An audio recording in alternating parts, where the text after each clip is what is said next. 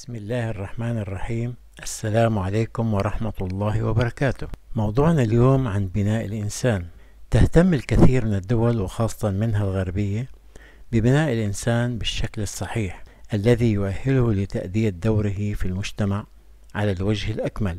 للأسف مع التطور الذي عرفته البشرية في وقتنا الحاضر أصبح الإنسان عبدا للآلة. اليوم نستعرض معكم ما أقدمت عليه هيئة النقل الروسية في مترو أنفاق موسكو من مبادرة للترويج للرياضة.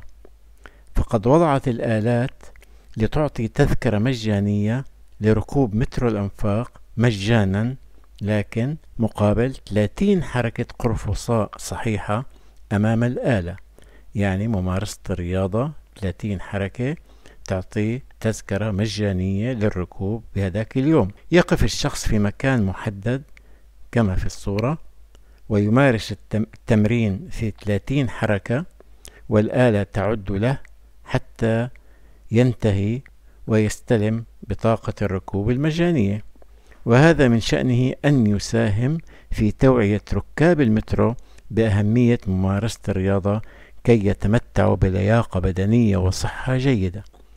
ويعد مترو الأنفاق في موسكو الأكثر ازدحاما في العالم وتعتبر قاعات المحطات أشبه بالقصور بفخامتها وهندستها والاعتناء بها ومعظمها تحت الأرض ويصل بعضها إلى عمق 60 مترا.